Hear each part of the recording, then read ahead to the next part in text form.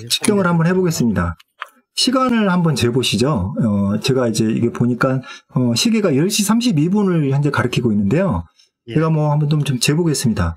어, 일단 준비는 준비는 해야겠죠. 준비는 어, 이렇게 얼마나 시간 걸리는지 네, 재검표 마친 데 얼마 시간 걸리는지. 네. 그래서 이렇게.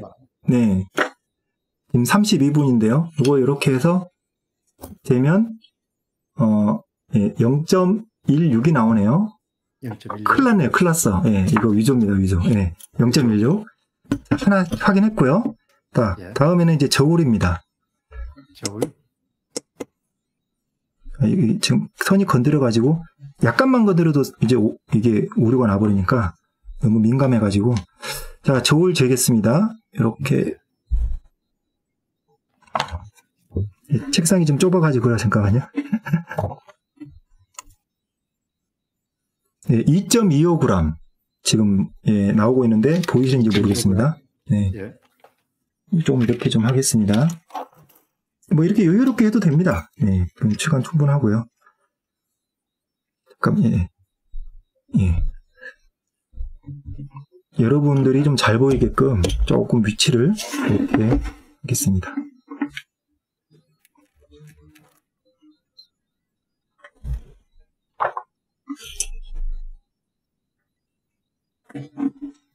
이게 수평이 안 맞아도 무게가 다르, 다르더라고요. 아하. 너무 민감해가지고 예, 2.25g 맞습니다. 자 이렇게 쟀고 무게 쟀고요. 무게는 그 100개 단위로 재면 더 정확합니다. 예, 예. 100개 단위로 재면 더 정확하니까 한번 재보겠습니다.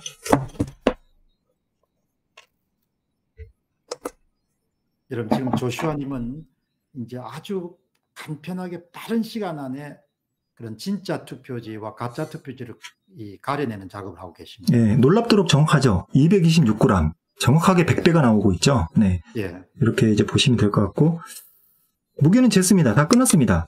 네, 예. 다 끝났습니다. 한 네. 5분도 안 걸렸겠네요. 아니 이제 저 두께를 좀 재야 되는데요. 잠깐만요. 예. 예. 두께는 어 아까 이제 한 장 두께는 쟀지만 좀 저 정확성을 기하기 위해서 어, 성관이는 아까 뭐라고 얘기를 했냐면 어, 가로 세로의 높이가 정해져 있다고 얘기했습니다.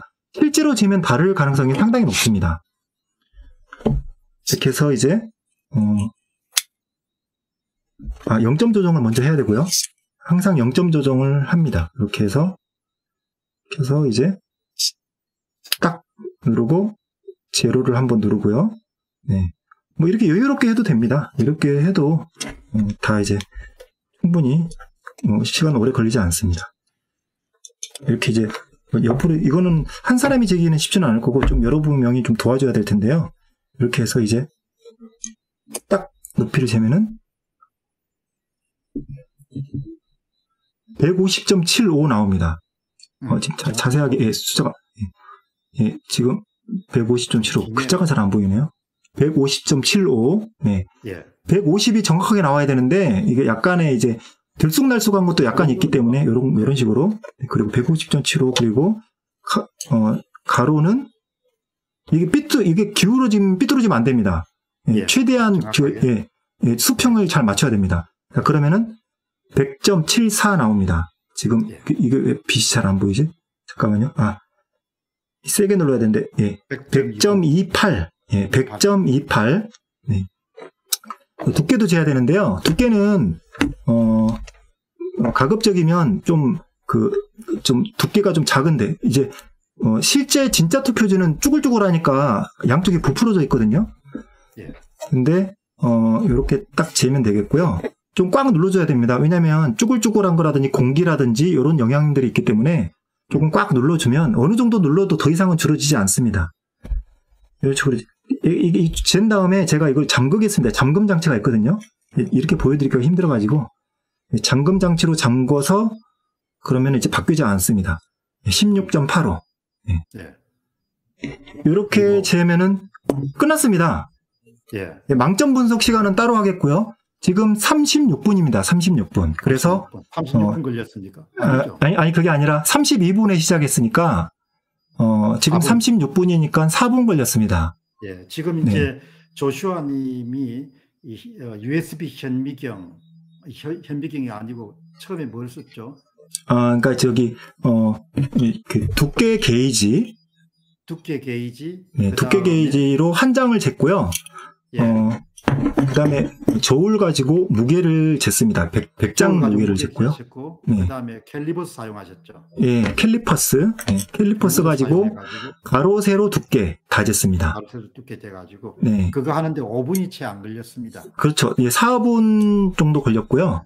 네, 그러니까 5분이 안뭐 걸렸습니다. 감정하고 무슨 일장기 가지고 무슨 뭐 받아들이냐 안 받아들이냐 무슨 럭비공 기표인 기표지 가지고 받아들이냐 할 필요 없다는 거죠. 딱 그냥 변론이 끝나고 나서 재검표가 시작되면은 투표함 가스 나오면은 그 가운데 10장 정도 선택해 가지고 이 절차를 딱 따르면은 그냥 5분 안에 그냥 위조했는지 아닌지 그냥 그대로 드러나는 거죠.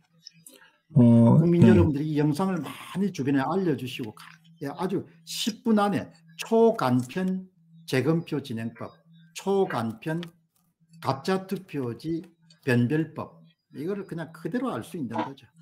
예. 그리고 이제 망점 분석하는 거는요. 어, 이것도 뭐 이어서 좀 해보겠습니다만, 뭐 그냥 QR코드 보고요. QR코드 위치를 찾아서, QR코드 위치를 찾아서 QR코드를 동일 위치에 놓고, 자, 이렇게 본 다음에 이거를 그냥 사진 찍어도 됩니다. 스마트폰이면 캡처도 되고, 다음, 어, 사전투표 관리관, 처음에 QR 코드를 두 개 비교하시고 네, 사전투표 관리관. 관리관 도장을 비교해 보시고 네, 그리고 착각, 네, 찰칵 한번 하고, 그 다음에 예. 이제 뭐, 기- 어. 도장, 아, 정의령이다 하면은 정의령의 정. 여기도 똑같은 위치로 정의령의 정. 자, 이렇게 놓고, 각도는 뭐. 조금, 조금 달라도 상관없습니다만, 예. 각도까지 자- 맞추면 좋겠죠? 이게 사진 딱 찍고, 이거는 다 이제 그 선거 무효의 증거들이 되는 거죠. 그리고 또 청인, 청인도 좀 기왕이면, 예. 예. 청인도 이렇게, 이게, 이게, 연수구을이라는 글자기 때문에 여를 하겠습니다. 여. 예. 연수구을의 여. 받침까지는 안 나오네요. 예. 이렇게 해가지고 또 사진 딱 찍고, 예. 예, 끝났습니다. 예. 끝났습니다. 2, 3분이면 뭐 되겠네. 네, 뭐 잘해봐야 10분이면 뭐 인쇄 망점 분석부터 시작해 가지고 뭐 다 끝납니다. 무게 그다음에 무슨 뭐다다 결정되겠네. 그리고, 어, 그 기왕이면, 어, 저는 이런 걸 추천을 합니다.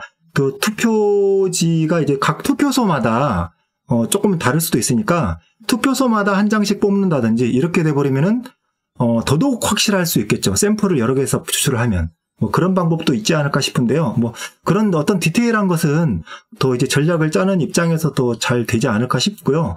저는 이제 간단하다. 어, 아주 쉽다. 그리고 어, 여기에 대해서 위조 여부를 판단할 수 있는 어, 위조 여부를 판단할 수 있는 잠깐만요. 제가 이걸 좀 다시 보여드리겠습니다. 네.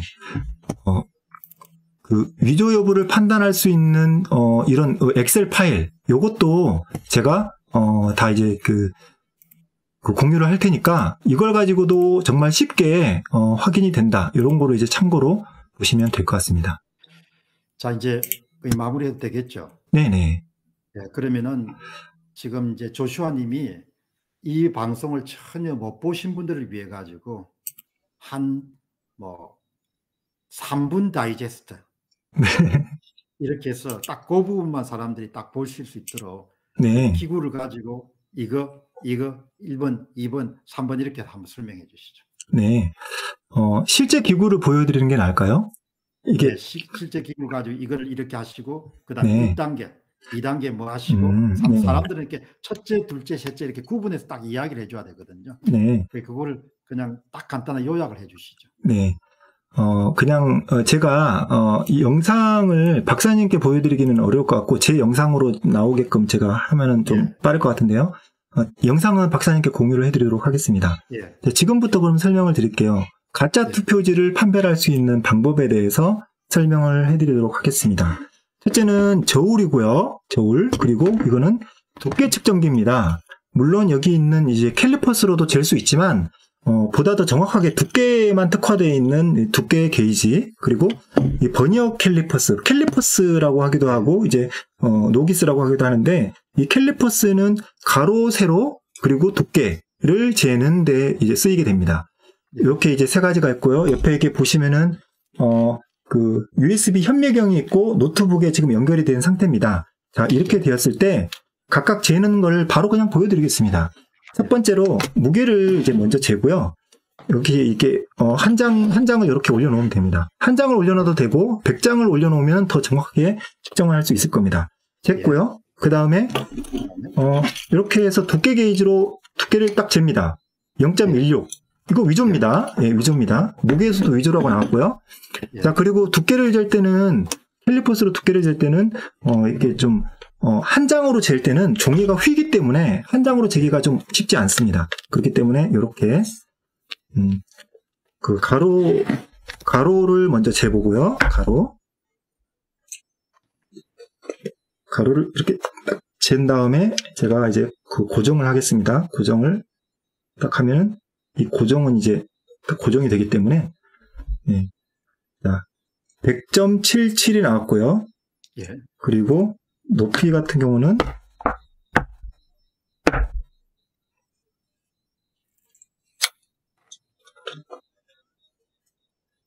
이렇게 예.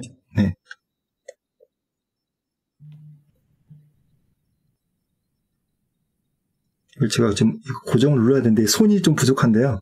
어, 지금 제가 정확하게 못 쟀는데 어쨌든 150.93 나왔습니다. 예. 150.94 이렇게 나오고 그리고 그다음에 이제 두께를 재야 되는데요. 두께는 이제 이렇게 어, 꽉 눌러서 꽉 눌러서 이렇게 두께를 재주시면 되겠습니다. 네. 제가 지금 좀 어, 옆에 협조자가 있으면 또 정확하고 더 빠르게 할 수도 있을 것 같은데요.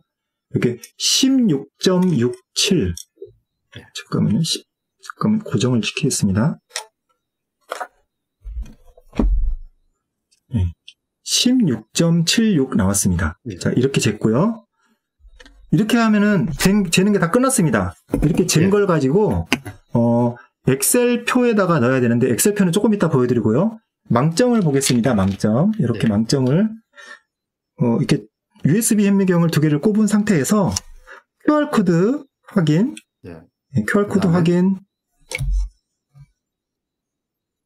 하고요. 각, 예, 하고 그 다음에 사전투표 관리관 도장. 예. 같은 위치에 하면 더 좋겠죠. 기왕이면 네, 예. 옥면 옥면 위치인데요. 예, 이렇게 또 찰칵 찍고 그 다음에 어 가운데 글자도 하나 넣으면 좋겠습니다.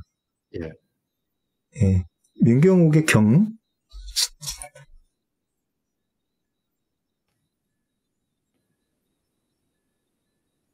또 더 찰칵 찍고 그 다음에 뭐 청인도 한 번 더 해주면 좋겠죠. 청인도 이렇게 위치를 이렇게 해서 오래 안 걸립니다. 이렇게 해서 예. 사진 딱 찍으면 끝납니다. 요거는 이제 대신 어, 사진을 찍고서는 사진을 좀 자세하게 확대를 할 필요는 있겠죠. 이거는 이제 현장에서 바로 하셔도 되고요. 이렇게 보시면은 확연히 눈으로 차이가 나니까 대법관도 옆에서 보면서 같이 한번 보시죠. 라고 해서 다 같이 보면은 어, 그, 뭐, 내 눈이 고장이 나지 않은 이상은 이게 뭐, 어, 위조가 아니다. 이렇게 얘기하기가 어려울 겁니다. 자, 이런 식으로 한 다음에 해야 될 일은, 어, 다음으로는 엑셀 파일에 입력을 하는 겁니다. 여기 지금 보시면은 제가 엑셀 파일을 미리 만들어 놨는데요. 이걸 그대로 쓰시면 됩니다. 그래서 네. 여기 아까 측정했던 거, 어, 이제 형, 성관이는 100, 100모 조지라고 주장을 하니까 100이라고 쓰고요. 무게, 여기다가 무게 입력하고요. 두께 입력하고, 가로 길이, 소수점 아까 정확하게 나왔잖아요. 소수 입력하고, 세로, 높이 입력하고, 몇 장을 잰 건지 장수 입력합니다. 이렇게 다 쭉, 어, 6개를 입력을 하면, 밑에 자동으로 쭉 계산이 되면서, 이게 위조인지 아닌지 바로 한눈에 알 수 있게, 어, 계산이 끝나버립니다. 여기까지입니다. 여기까지. 네. 이거 아마 5분 정도 아- 안 걸린 것 같은데, 4, 5분 정도면은 끝날 일이고요.